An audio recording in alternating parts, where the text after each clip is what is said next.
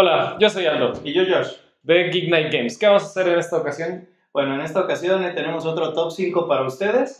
Para los que no sepan cómo funciona en este top 5, ¿qué es lo que hacemos en estos videos? Bueno, eh, a diferencia de otros top 5 donde las personas dicen nada más sus top 5 y así se queda, nosotros intentamos eh, discutir un poco para darles el top 5 definitivo del canal. No el top 5 de Josh ni el top 5 de Aldo, sino el top 5 de Geek Night Games. Así y en es. esta ocasión es el top 5 de Party Games. Party Games.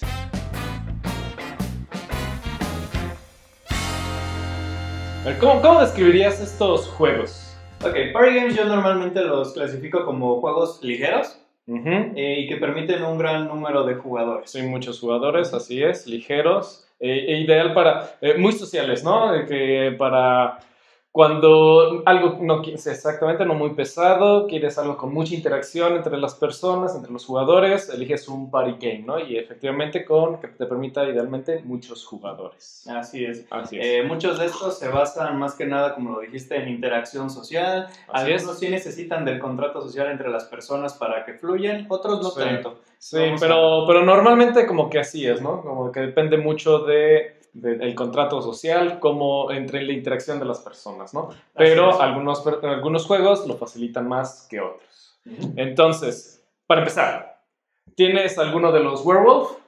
No, ¿Tienes Secret Hitler? no. Entonces ya de primera instancia ya quitamos dos de los juegos más populares, así que vamos a ver qué más nos vamos a encontrar. ¿Sale? Perfecto. Eh, ¿Gustas empezar? Eh, claro. Eh, ¿Tienes alguna predicción antes de que comience a darte mi top 5? Mm, probablemente coincidamos en algunos juegos, pero, pero no sé cómo salga el orden. Entonces, Sí, a ver, creo que vamos a tener mucha coincidencia, pero no, no estoy muy seguro que Ok, tengamos el mismo vamos. orden.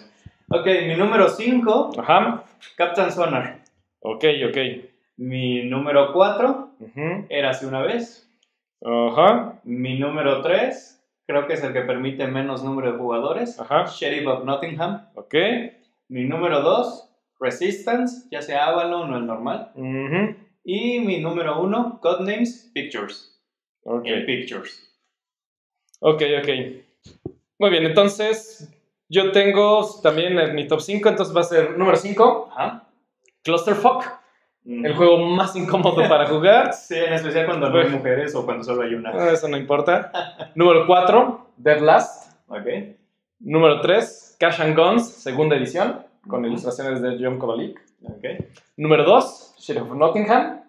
Y número 1, Resistance Avalon, específicamente Resistance Avalon. Ok, Así o sea, no coincidimos tanto como creímos. No, no tanto. Muy bien. Eh, Eh, me sorprendió que pusiera Sheriff of Nottingham, la verdad. sí. Creí que era el que no iba a estar en tu lista de los que yo tenía. Y Ok, no coincidí. Muy bien. Ahorita, ahorita lo, lo discutimos un poco. Ujú. Eh, muy bien. ¿Por qué, por qué escogí Clusterfuck? Para quien no ha escuchado este, este tipo de... o quien no ha visto este juego, es Print and Play, gratis. Y en este juego, digamos, los participantes quieren entablar relaciones personales con Amorosas. nosotros. Ajá. Eh, la- sucede en dos fases. La primera, todo el mundo pasa cartitas con mensajes, hay algo sugestivos. Y cuando alguien está listo, dice, mi cuerpo está listo, y todo el mundo cierra los ojos. La segunda fase es que cada quien apunta a una persona con la que cree que puede recrear una relación. Y si lo logran, un punto. Pero si haces un tercio, un trío, Un trío. trío, entonces son, es victoria automática, ¿no? Para los tres jugadores, ¿verdad? Para los tres jugadores que estuvieron en, el trío, así es. Entonces, es el juego más incómodo que te puedas imaginar, pero con un, con un grupo de amigos con los que confíes, eh, se puede hacer un juego eh, muy interesante, muy divertido, muy, muy relajado realmente, ¿no? Fíjate que ese yo no lo puse porque me parece que no funciona siempre. Eh, como Mm, tú lo sí. mencionaste, tienes que tener ya cierta confianza con las personas con las que lo vas a jugar para Sí. que no haya malentendidos ni se presten otras situaciones. Pero una vez que encuentras ese grupo es muy, muy divertido, en especial por las, con- la- las señas que se empiezan a dar, que guiñan Sí. el ojo. Ah, sí, por cierto, jalan. exacto, no puedes hablar mientras están repartiendo cartas, todo tiene que ser con, eh, con comunicación corporal, ¿no? que también va a ser interesante para mi caso. Pero tú en el 5 pusiste Captain Sonar. Eh, recientemente lo jugamos y ven nuestra página en Facebook podrán darse cuenta de cuándo lo hicimos. Eh, lo disfruté bastantísimo. Yo antes de empezar a jugar toda esta nueva ola de, de juegos de mesa en el hobby, eh, uno de mis juegos favoritos era Battleship. Eh, Ok. Y siempre quise como que ese sustituto. Y no le tenía tanta fe a Captain Sonar. Eh, Ujú. Normalmente los juegos en tiempo real no me gustan tanto. Ujú. Eh, sin embargo, eh, la experiencia que tuvimos fue muy buena y fue con cuatro jugadores, con ocho solamente me imagino que va a ser mejor. Es, sí, es muy divertido. Sí, ya también que- con 8 es, es caótico. Ajá, Para quien no conozca el juego, eh, son dos equipos de cuatro personas, si no me equivoco. Ujú. Eh, tienen una pantalla que divide la mesa donde sea que estén jugando y cada quien va a fingir, bueno, va a interpretar el rol de una persona dentro de un submarino, ya sea el capitán, el, El ingeniero, el operador de radio, el ingeniero. oficial. Cada uno tiene funciones que van afectando cómo se va moviendo y cómo se desempeña el submarino y la, la estrategia es descubrir dónde está el otro y destruir el submarino. así contrario. es. Bueno, sí, ¿sabes por qué no? Sí, me gusta mucho este juego, creo que se, se está convirtiendo en uno de mis favoritos, pero necesitas una fiesta como que muy, muy elaborada, ¿no? Estamos hablando de party games, juegos de fiesta. Captain Sonar como que es, es una fiesta muy elaborada, ¿no? Este, eh, que requiere mucha coordinación. ¿no? Pero algo bueno también es que la comunicación. La comunicación en este juego es súper importante entre los miembros, ¿no? Entonces eso es un muy buen punto a su favor. Yo en el número 4 puse Dead Last. Dead Last. Dead Last y tú en el 4 pusiste Eras Eras una una vez. vez. Muy bien. Dead Last, en Dead Last creo que es el juego que incluye más teoría de juegos. Sí. Eh, no, solo, eh, no solo al final, que es eh, un dilema del prisionero, sino eh, tiene un poco de, del modelo de la confianza. O sea, ves, lo, ves todo, ¿no? Ves, ves al copycat, que, que está imitando lo que el otro hizo, ves a los resentidos, que si tú lo traicionas otra vez, te va a traicionar Nunca siempre. vas a poder volver a confiar con él. Están los que siempre confían, los que siempre cooperan. Entonces ves Y- mucha teoría de juegos. ¿no? Y los que siempre traicionan. Así es, exacto. Y entonces ahí puedes ver exactamente cómo todas las interacciones funcionan, ¿no? Y, y quién al final va a ganar, ¿no? Entonces me parece muy interesante para los que no conocen el juego. Todos votan por ver eh, quién va a quedar fuera de la ronda. Los que votaron por esta persona eh, siguen en la ronda, pero quien no votó por esa persona también quedan fuera. La temática es, persona. este, somos ladrones, ¿no? Así es, como en un, como en un Mexican standoff, ¿no? Pero hasta de 12 personas, que también es muy, 12 personas, un montón de jugadores, ¿no? Así es. Y tú pusiste Eras una vez, cuéntanos de Eras una vez. Que eras una vez es uno de los... No necesitas el juego para poder jugar, eh, ahora sí que como quien dice, eras una vez. Ujú. Eh, sin embargo, es de, esas, de esos jueguitos que, eh, ¿cómo decirlo?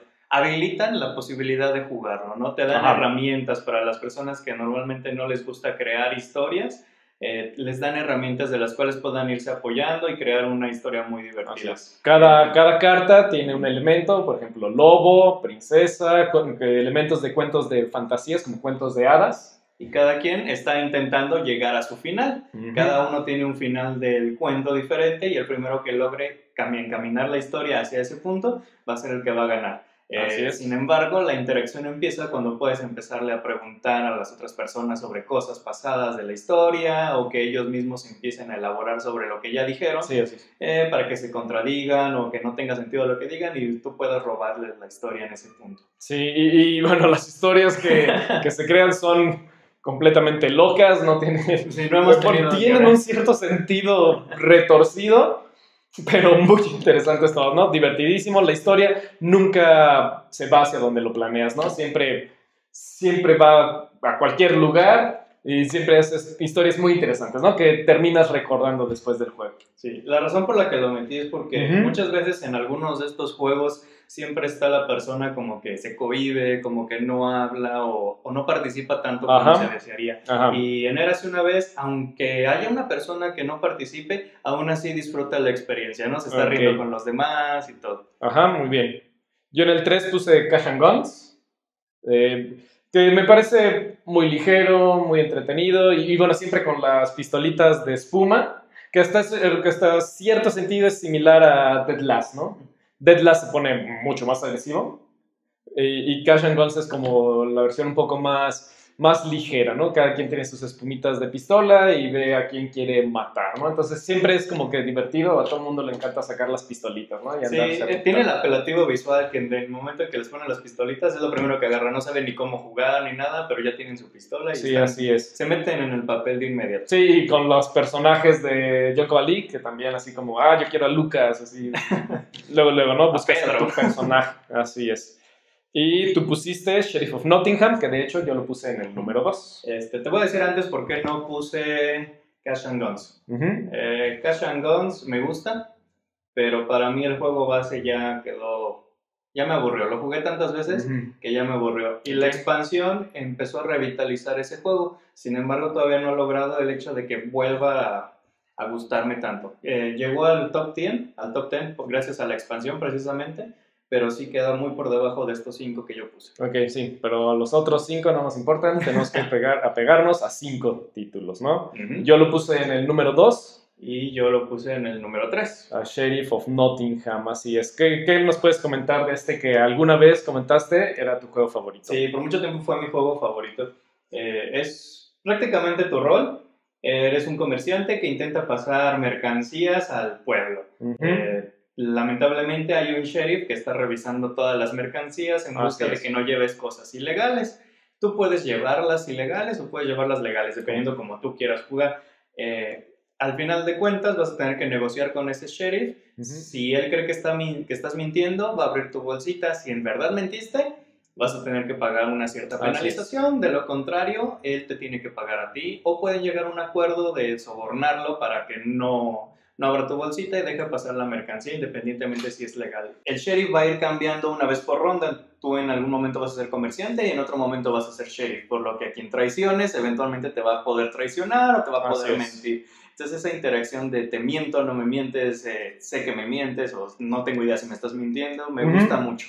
La razón por la que lo bajé un poquito es porque solamente permite, no, cinco jugadores. Bueno, sí cinco jugadores. Entonces, eh, queda muy cortito y no, no, no llena ese punto de party games donde lo puedes jugar una vez que tengas un grupo muy numeroso. Sí, así es. Bueno, sí, también es, es cierto, ¿no? Siempre es recomendable tener al menos un party game. Para cuando hay más personas, eh, nosotros siempre así de cuántos vamos a hacer, ¿no? para, para ver si vamos a hacer mucho, bueno, ya sabemos que podemos sacar Dead ¿no? Si son 12 personas o si son 5 personas, bueno, ya podemos empezar a jugar Resistance. y, y, sí, ciertamente Sheriff of Nottingham, sí, eh, es el que permite menos jugadores, ¿no? Entonces, con una fiesta, en chiquito. eh, sí, yo lo puse en el número 2. Me gusta porque puedes jugar honestamente y es una estrategia viable que te, te puedes ganar, puedes ganar. puedes ganar siendo completamente honesto o puedes traicionar, ¿no? O sea, ahí sí también tú decides como qué, como cuál es tu estrategia. Sí, no, no es como los otros juegos que te obligan a mentir o demás, y por alguna razón la persona se siente incómodo haciéndolo, puede jugar completamente honesto y, Sí, así es, así es. Ahora bien, no sé cómo en este juego sientas que sea, el, sea muy dependiente del contrato social. Yo no he tenido, yo no he tenido problemas, o sea, los, con quienes he jugado Sheriff of Nottingham se ha quedado un buen grupo, con mucha interacción, pero no sé cuál sea tu experiencia. ¿Has visto que hay eh, problemas? Yo solamente en una situación fue donde tuve un problemita con el contrato social. La persona no tenía como que muchas ganas o no le interesaba o no sé exactamente qué fue lo que sucedió. Pero su única jugada era agarrar, meter mercancías a la bolsa y pasarla. No intentaba negociar, no no, sí, no era partícipe. Entonces eso rompía un poquito el, el juego. Eh, le arruinaba la experiencia a los otros y como que no parecía que lo estaban, se estaba divirtiendo mucho. Pero bueno, ese contrato social creo que es este le pesa a muchos de los juegos, ¿no? Por ejemplo, Captain Sonar, si alguien no hace las cosas bien, eh, porque no tiene ganas, pues se va, se va a caer el juego, ¿no? Eh, Dead Last, si alguien simplemente intenta negociar a lo loco o no tiene interés, también empieza a caer el juego. Ok, sí, sí, ciertamente. Eh, y luego tenemos Resistance, Resistance y Resistance Avalon, ¿no? Que yo lo puse en el número uno y tú en el número 2. En el número 2. Yo puse Resistance en general, te digo, tanto uno como el normal como el Avalon me gusta. El Avalon lo veo como un pasito adelante una vez que ya hayas jugado mucho el Resistance, por las habilidades que se dan. el Resistance normal tiene la posibilidad de meter habilidades, pero tiene el juego limpio. Y Resistance Avalon es un poquito más elevado. Entonces. Que también lo puedes jugar sin los personajes. Sí, pero pierde Pierde ese encanto del Avalon, que es lo que lo, lo, diferencia y lo hace, para mi gusto, mejor que el normal. Sí, sí, en, estos casos, bueno, para quien no conozca el juego, hay dos equipos, eh, uno bueno y unos malos. La cosa es que los buenos no saben quiénes son los malos. Entonces, eh, tienen que ir a lo largo de cinco misiones, ir tratando de deducir quiénes son los malos, ¿no? Buscarlo y al final, no, ¿sabes qué? Él es malo. Entonces, sí, es, es un juego eh, que sí me gusta mucho, es muy divertido y... Pero además creo que es muy diferente si lo juegas con cinco personas o si lo juegas por, con diez personas, ¿no? Con 5 creo que se vuelve un poquito más difícil, ajá, muy difícil para los malos ganar y, y con 10 personas es muy difícil para los es buenos completamente caótico, ganar, así es, ¿no?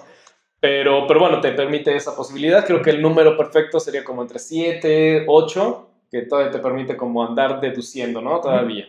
Pero, pero sí, muy, muy buen juego, muy divertido. Y bueno, Resistance Avalon agrega solo una modificación pequeña al juego base de Resistance, nada más eh, al, inicio del juego, cómo se determinan los roles, pero ese, eso crea muchísimas interacciones diferentes, ¿no? Por eso sí considero que el Avalon es mucho mejor juego que el, que el básico, ¿no? el Resistance. Aparte de la rejugabilidad, eh, muchas veces el Resistance normal lo juegan y dicen, ah, sí, vamos a jugar otra vez, ah, me tocó espía, ah, sigo siendo espía. En cambio acá, aunque te vuelva a tocar el mismo equipo, te puede tocar un rol diferente y todo. Sí, sí, así es, ¿no? Sí. Aunque también sí es lo malo de que si tienes a uno bueno sin chiste, así como que muchas veces estás completamente perdido, ¿no? sí. Y tú en el 1 pusiste Codenames, Pictures. Cuéntanos, ¿por qué Codename Pictures en especial? Bueno, eh, Codenames está rankeado como el party game número uno en Board Game Geek. este, sin embargo, para mí el que, el que lo hace especial es Codename Pictures. Las imágenes dan todavía... Pues, abren la, el espectro de los jugadores, ¿no?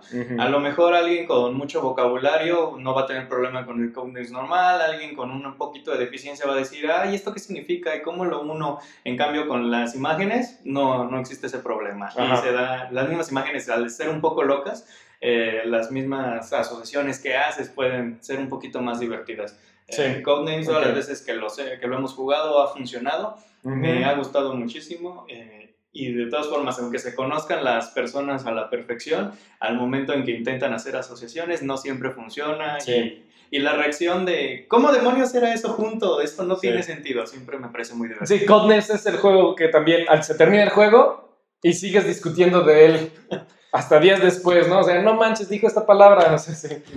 también Tenemos chistes al respecto. Sí, entonces, muy bien. Así las cosas. Compartimos eh, o tenemos dos juegos en común. Sheriff of Nottingham y Resistance. Que vamos a poner Avalon, ¿no? Porque lo podemos jugar mejor básico, Avalon. Y nos quedan tres lugares, ¿sale? Ahora, por ejemplo, Cash and Guns y Dead Last, creo que son juegos similares, por así decir. Dead Last puede ponerse muy agresivo, la verdad es incluso bastante desagradable. Me gusta porque tiene mucha Sí, se, puede, se pueden enfocar en un solo jugador sin, sin tener mucha defensa del pobre. No, y sí, se puede poner bastante vicioso el juego, ¿no? Y Cash and Guns, bueno, es más ligero. La ventaja es que Dead Last permite hasta 12 personas. Es el juego de los que tenemos el que permite más, más personas. Entonces, ¿cuál consideras de estos mejor? Yo me quedaría con Cash and Guns, sinceramente. Me parece muchísimo más sencillo eh, y permite, bueno, ese aspectito de el aspecto visual donde tiene las pistolitas y todo lo hace muy llamativo. Sí, sí, por los componentes creo que sí, Dead Last al final son solo cartas, ¿no? Y Cash and Guns es, muy llamativo. Lo ves, ves a alguien jugando y te llama la atención, ¿no? Entonces, ok, me parece que puede pasar a las finales Cash and Guns, ¿ok? Ahora, ¿qué hacemos con Captain Sonar, porque te gusta mucho. ¿Sí lo metemos o no? Porque es el juego más nuevo que tenemos. Eh, lo hemos jugado muy poquitas veces. Sí. Entonces, ¿te parece meritorio que entre a la lista o, lo, vamos un paso atrás con él? Mm, creo que, digo, no, no, como party game en sí, tal vez no funcione muy bien. Porque pues, necesitas que, como que todos estén muy coordinados, todos estén y, y, es mucho mejor solo de, de seis u ocho personas. Entonces, como que es un juego muy limitado en ese aspecto. Bueno, y también la complejidad de reglas es un poquito más alta que cualquiera de los que pusimos, ¿no? Ujú, Sí, también, ¿no? Que cada, sí, al momento de explicar ese juego, siempre así como que te quedas, ¿qué? A ver, otra vez, ¿cómo se activan todos los sistemas? Pero sí. Pero bueno, Clusterfuck creo que aquí también es el más débil. Sí. Si acaso lo, lo, lo resaltaría por el hecho que es, eh, que es print and play y gratuito, ¿no? Este juego no siempre es barato, pero este es un juego que es gratuito. Es la, la ventaja que le veo, ¿no? Pero Además muy es el- limitado también. El único que crea situaciones incómodas, que puede, puede Sí. hacer sentir mal a alguna persona por alguna circunstancia. Ya hay cada quien, ¿no? Sí, pero podemos dejarlo afuera. Muy bien, entonces nos quedaría tres espacios para Codenames Pictures, que me parece un buen juego, podemos incluirlo. ¿En qué lugar? Ahorita vemos. Ahorita lo discutimos. Y de los tuyos, ¿cuál Falta, queda? bueno, queda Érase una vez y Captain Sonar, más bien. Eh, pues creo que Eras una vez se ganó su lugar, ¿no? Por la discusión que acabamos de tener de Captain Son. Ujú. Entonces ya tenemos los cinco, solo nos falta decidir en qué lugar. Muy bien, entonces llegamos ya a los cinco juegos, falta ver cómo los vamos. El orden. Así es. Eh, Resistance tú lo tuviste muy alto y Sheriff of Nottingham yo también. ¿Te También. parece que, que Sí. manejemos? ¿Tú pusiste cuál? Resistance como el número Resistance uno, como el ¿no? 1-1. Eh, para mí Resistance está arriba todavía de Sheriff of Nottingham. Entonces me parecería bien Resistance Avalon como el número uno. Ok, Sheriff of Nottingham. tú lo pusiste en el considero 3, yo en el tres. 2. ¿Te parece 2? ¿Que quede? Ok, y bajaríamos Codenames hasta tercero. Sí, porque tú no lo pusiste y estamos coincidiendo. Ok, ¿sabes? entonces entre Érase una vez y Cash and Guns, ¿cuál consideras ¿Cuál que sea? preferiría jugar? Yo preferiría jugar Eras una vez. ¿Tú? La cosa es que Érase una vez como que si alguien como que no tiene buena imaginación O buena memoria. o buena memoria puede ser muy, muy limitante, ¿no? Así de, ah, no Eso sé sí. qué jugar, robo una carta, es lo, lo que le veo de malo. Eh, Y Cash and Guns como que es más automática, ¿no? Así, ah, sí, lo va a disparar. sí, si estamos eh, juzgando que sea más inclusivo, creo que sí, Cash and Guns todavía es mejor Ok. en ese aspecto. Entonces, aparentemente ya llegamos a nuestro top Creo 5. que es la numeración más rápida que hemos hecho. Sí, estuvo rápido, pues, estuvimos en general bastante de acuerdo, Antes ¿no? de que digamos el top 5, ¿tienes alguna mención especial? ¿Algún jueguito que te hayas dicho, ah, este también vale la pena mencionarlo? No, fíjate, Captain Sonar sí, sí, te digo, me está gustando mucho este juego, pero sí, necesitaría tal vez jugarlo más con diferente número de jugadores, ¿no? Experimentar con todos los las Así es. de los jugadores. Sí, así es, por turnos no lo, no lo he jugado, entonces también incluso cómo funciona así, ¿no? Tal vez menos jugadores, con turnos es mejor, quién sabe. Yo Entonces, tengo tres jueguitos que no metí, pero sí Ujú. me hubiera gustado en dado caso que no hubiera existido. Fíjate que me debatí mucho entre poner Captain Sonar y Keep Talking and Nobody Explodes. Ok, la cosa es que ahí es, es realmente un juego de mesa, o es un videojuego, o es un juego de Ah. realidad virtual. ¿no? O sea, está, está en ese. Está en ese límite. Yo lo sentí ahí, como ¿no? una app, por eso Sí, no, Sí, así no- lo es. acabé quitando. Sí, sí, incluimos. Si pensamos en este como un juego de mesa, tenemos que incluir a Hearthstone como juego de cartas. ¿Estás dispuesto a hacer eso? No. ¿Cuál más? Eh, y finalmente también puse que no llegaron a la lista fue Spyfall y Ujú. the Dice Game. Eh, no puse Bind porque sabía que no te gustó tanto Ajá. y, y sabía que iba a quedar Ok, fuera de muy bien. formas. Sí. Entonces, Estos juegos no nos importan porque aquí tenemos nuestro top 5 definitivo. Número 5, Érase una vez, Número 4, Cash and Guns. segunda edición. Número 3, Codenames Pictures. Número 2, Sheriff of Nottingham. Y número 1, Resistance Avalon. Avalon. Bueno, pues esperemos que les haya gustado nuestro top 5. Cuéntenos en los comentarios si han jugado algunos de, de ellos, cómo les han funcionado o si omitimos alguno que para ustedes debió estar en la lista. Así es. Pues, también, adelante, coméntenlos. Entonces no olviden darle like, suscribirse y bueno, nos estamos viendo en la próxima. Hasta luego. Bye.